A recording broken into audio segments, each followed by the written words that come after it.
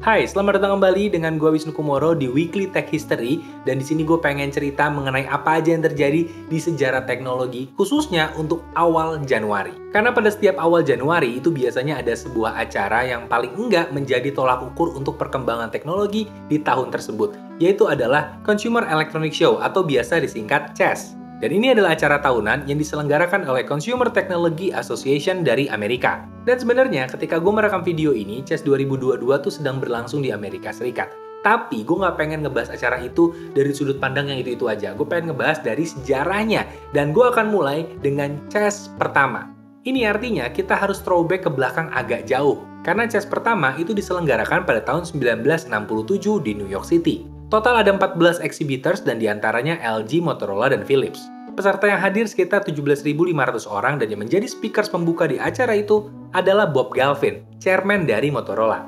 Dan sejak itu sejarah dari CES dimulai dan itu adalah yang pertama. Lalu bagaimana dengan CES yang terbesar? Untuk acara CES yang terbesar dari data yang gue terima adalah CES tahun 2019.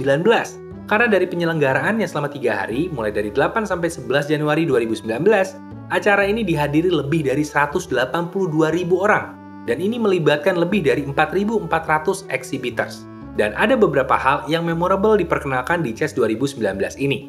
Di antaranya ada LG V40 ThinQ, Ring Spotlight Cam, dan Autonomous Work Vehicle dari Honda. Dan memang setelah masa-masa sulit ini, akhirnya CES itu sempat berubah format. Karena di tahun 2021, ini full digital. Ya, di tahun 2021 untuk pertama kalinya dalam sejarah CES menyelenggarakannya full digital. Jadi untuk seluruh keynote dan juga demo produk disaksikannya ya secara digital aja, bisa dari layar laptop. Acara berlangsung dari 11 sampai 14 Januari 2021 dan seluruh sesinya, termasuk tanya jawab, dilakukan lewat video conference. Tapi pihak penyelenggara tetap pengen acara ini jadi meriah, meski cuma digital. Karena di CES 2021 ada penampilan dari Billie Eilish dan juga ada sesi interview antara Ryan Seacrest dengan Billie Eilish dan juga Dua Lipa. Dan mungkin ada yang bingung kenapa harus menginterview kedua orang itu ya. Karena ini adalah acara consumer elektronik, di mana ya Marketnya adalah orang-orang yang langsung bisa menggunakan produk-produk tersebut. So, ya lebih mainstream, lebih bagus untuk penyelenggaraannya. Dan sebenarnya kalau ngelihat dari track recordnya Chess, yang paling menarik dari Chess adalah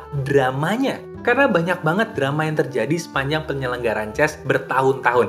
Yang paling jadi highlight gue adalah Chess tahun 1991. Karena apa yang terjadi di Chess kali itu mengubah sejarah bukan hanya untuk consumer product, tapi juga banyak hal. Dan dramanya ini melibatkan Nintendo dan Sony. Jadi di CES tahun 1991 ada sebuah pengumuman dari Sony di mana mereka mengumumkan akan menjadi partner dari Nintendo untuk pengembangan CD-ROM drive untuk konsol terbaru dari Nintendo pada saat itu, Super Famicom atau Super NES.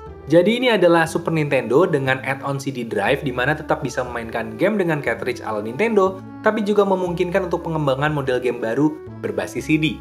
Dan Sony menyebut kolaborasi ini adalah PlayStation dalam dua kata. Jadi dipisah antara kata play dan kata station. Tapi singkat cerita, ternyata kolaborasi ini tidak berjalan mulus. Karena Nintendo diam-diam melakukan hal yang tabu untuk perusahaan Jepang kala itu, yaitu adalah mengkhianati perusahaan satu negara. Jadi Nintendo diam-diam melakukan kerjasama dengan rival Sony yaitu adalah Philips. Dan itu sebenarnya melanggar kontrak antara Nintendo dan Sony beberapa tahun sebelumnya. Dan pahitnya lagi, semua itu terungkap cuma satu hari setelah Sony mengumumkan PlayStation di CES 1991. Sehari setelahnya, di acara yang sama, Nintendo melakukan konferensi pers dan bilang kalau yang akan mengembangkan SNES e dengan CD-ROM adalah Philips, bukan Sony. Dan itu membuat Sony marah dan malu luar biasa. Tapi Sony nggak langsung membalas di saat itu juga, karena mengingat Nintendo adalah pemain yang luar biasa besar pada saat itu di industri game. Bahkan setelah kejadian itu, Sony tetap melakukan negosiasi agar pelanggaran kontrak itu bisa settle. Dan akhirnya mereka tetap bernegosiasi dan ya, semua settle tapi nggak ada kelanjutan apa-apa. Dan setelah kejadian di CES tahun 91 itu, akhirnya Sony dengan segenap kemampuan dan researchnya mereka, mereka membuat sebuah device yang diperkenalkan tahun 94, yaitu adalah PlayStation. Dan PlayStation ini menjadi rival langsung dari Nintendo 64 yang tetap menggunakan cartridge dan sejak itu sejarah video game bisa dibilang berubah. Ya meskipun gue suka banget sama Nintendo, tapi apa yang dilakukan Nintendo pada saat itu ya itu sangat-sangat menyakitkan sih dan gue tidak bisa membenarkan. Tapi bisnis ya it's still business, jadi gue nggak tahu pertimbangannya apa, tapi secara sejarah itulah yang terjadi. Dan semua itu terjadi di Consumer Electronic Show. Jadi seberapa vital acara ini untuk perkembangan teknologi ternyata sudah terjadi dari zaman dulu. So, untuk yang tahun ini, untuk CES 2022 yang masih berlangsung pada saat gue bikin video ini, Ya, ini pun cukup menarik perhatian sebenarnya dan teknologi yang diperkenalkan cukup bikin takjub. Karena kalau kalian lihat, kalian akan melihat banyak sekali perkembangan teknologi khususnya di bidang otomotif dan juga di bidang robot. Karena juga diperkenalkan robot humanoid pertama yang bisa memiliki mimik yang mendekati manusia. How are you finding Las Vegas and CES? Well, as a robot, I actually don't feel anything at all. But if I did feel, I would feel happy to be here. And that's really awesome. And also at the same time, it's frightening. Gue kagum dan gue ngeri sebenarnya. Mobil bisa ganti warna. Ya, itu menyulitkan untuk polisi. Nilang warnanya berubah, selesai. Kemudian robot humanoid. Gue takut kejadian kayak di game Detroit itu kejadian. So, it's amazing and also frightening buat gue.